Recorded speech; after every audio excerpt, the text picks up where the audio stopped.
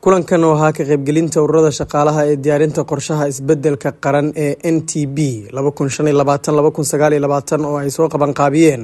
Ururada shaqaalaha soomaaliyeed ee loo soo gaabiyo xus iyo sidoo kale wasaaradda qorsheynta ayaa waxaa ka qaybgalay wasiirka wasaaraddaas iyo sidoo kale xogayaha guud ee ururka shaqaalaha iyo mas'uuliyiin kale. Waxaa kulanka halkudhig looga dhigay hanaan wadatashi oo lagu gaaro horumar loo dhan yahay ugu horeyn waxaa kulanka furay oo ka hadlay xogayaha guud ee ururka shaqaalaha cumar faaruuq waxaana uu sharaxaad ka bixiyey muhiimadda kulankan waxaana uu carabka ku qabtay inay cod u yihiin shaqaalaha aan codka lahayn ee u badan muruqmaalka. Waad fahmi kartiin muhiimadda uu leeyahay shaqaalo weynaha soomaaliyeed. Marka ay timaado horumarka dalka dalkan horumar ma ku tillaabsan karo.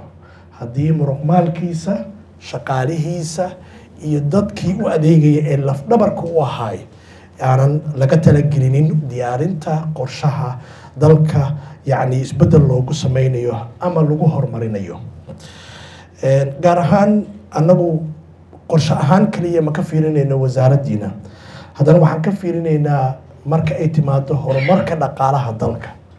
Dalkan dhaqaalihiisa ma horumari karo haddii aynan shaqaaluhu door ku lahayn dhaqaalaha dalka inuu horumarayna waxaa laga fiiriyaa ma laga fiiriyo kaliya inta taajirka ah oo jeebkooda u buuxa lagama fiiriyo.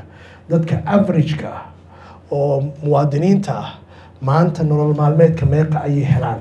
Dhaqaalahoodana halkaas ayaa laga fiirinaya haddii uu kordhay haddii uu wanaagsanaaday haddii fakriga lagu jiro haddii fakriga laga baxay ama haddii meel la sii joogo waxa keliya lagu ogaan karo waxa ay tahay economic growthkaas ama developmentkaas waxa kaliya lagu ogaan karo waxay tahay in laga fiiriyo dadka muwaadiniinta ah averagekooda.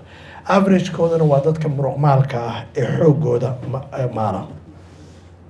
Doorka ay ku leeyihiin ururada shaqaalaha marka halkaas laga yimaado horumarka dalka ama yani isbeddel wanaagsan in dalka uu ka dhaco. Waxa uu la mid yahay in laga sameeyo horumar arrimaha bulshada iyo arrimaha dhaqaalaha gaar ahaan marka ay timaado n t b-ga waxaa muhiim ah in laga dhex arko codka shaqaalaha soomaaliyeed in laga dhex arko danahooda.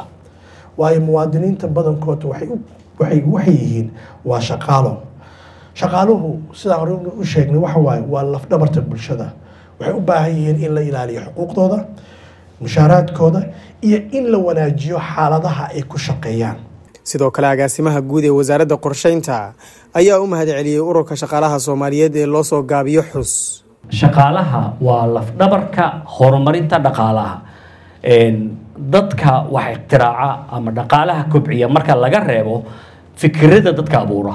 Dadka dhaqangeli waa shaqaalihii haddii labor force uusan ka jirin dal ama uusan dabaqada mar walbaahi dhexe oo iyadu mar walbaahi dhaqaalaha fikirkeeda iyo kabitaankeeda ka shaqaysa waxa dhaqangeliya ka shaqeeya waa xoogaga shaqaalaha. Haddii dal uusan haysan xooga shaqaalana ma suurtagelayso in dhaqaalihiisa uu gobca sameeyo. Intaa in ka badan waxaan ka sugaynaa in khudbadda wasiirka ay noogu jirto. Wasaaraddu waxay ku faraxsan tahay inay la falgasho ururka shaqaalaweynaha soomaaliyeed aad ayaan ugu faraxsannahay inaan maanta aan wada tashigan meesha u fadhino. Waxaan rajaynaynaa in howlwadeenada halkan fadhiyaad u jeedaan ee wasaaradda ka socda ee aruurinaya xogta muhiimka aad haysaan inaad ka haddii alla ku ron yahaadan maanta siday tahay adigu sheegi doontaan. Aanan dib dambe loogu baahnaan doonin oo in badan ay kala faa'iidi doontaan haddii ilaahay raalli ka noqdo aad ayaad umahadsan tihiin wasiirka wasaaradda qorsheynta mudane maxamuud cabdiraxmaan beene beene ayaa sheegay in isbeddelka qorshaha qaran oo ay wado wasaaradda ay muhiimad siinayaan dhegeysiga kuwa mudan talooyinkooda in la dhageysto islamarkaana wasaaradda ay daneynayso qorshe qaran oo loo dhan yahay. Bulshada qeybaheeda kala duwan hay'adaha u istaagay inay u shaqeeyaan waxay xaq u leeyihiin in lagala tashto waxa ay ka shaqeynayaan iyo sidai u saameynayaan qorshahan guud ee ay dowladda soomaaliya ama xukuumadda soomaaliya ay qorayso maadaama adinka ururadii u doodayo xuquuqda iyo daryeelka iyo tayada shaqaalaha soomaaliyeed waxaa xaq u leedihiin inay idinla fadhiisano idin dhegeysano sektarka aad ka shaqaynaysaan taladooda inay ka muuqato dukumentiga soo bixi doono bilaha soo socda hadduu ilaah yiraahdo. Wax kalena ma ahan. Waxaa muhiim u tihiin lafdhabarna u tihiin shaqaalihii u shaqaynayay qeybaha kala duwan ee dowladda iyo private sectorka iyo wax oo dhan waxaan ka hadlaa dowladda yaan u shaqaynaya waa muruqmaalato aqoon-yahano dhaqaalaha lafdhabar u ah. Sideedaba dowlad markay inay faanto rabto human capitalka iyo dadka aqoonta iyo shaqada u iyo dadka u shaqeeya oo wax soo saara wax soo saarka dalka ku leh baa qiimo ay ku leedahay. Lama marka lama lama dhayalsan karo muhiimadaas baaxadda leh annaga weliba waktiga aan ku jirno dowlad dhisidda soomaaliya oo dee process aada u dheer soo qaatay maadaama dowladda soomaaliya ay ka mid tahay waddamada farajaalka oo shuruucdeeda iyo hay'adaheedaba weli aan sidii la rabin full scale flage aan u dhamaystirneen hay'ad kasta iyo urur kastaba wuxuu ka shaqeeya waa inaan qeyb dowladda ka noqotaa sidai u xoogeysan lahaayeen.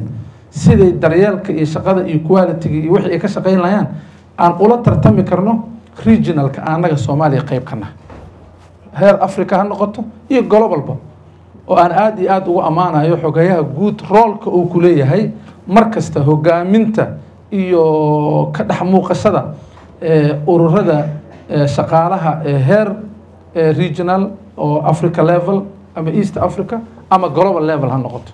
Waxay ku tusaysaa wacyigeennana inuu aada u kormaray inaan leenahay wax badan oo aan miiska geyn karno oo ku saabsan waddankeenna. Iyo sidoo kale wax badan oon ka keeni karno adduunyada kale oo aan la qeybsan karno waddankeena inuu qeyb ka noqdo the global village iyo balkii xiriirada adduunyada ka jira iyo the best practiceska la isticmaalo.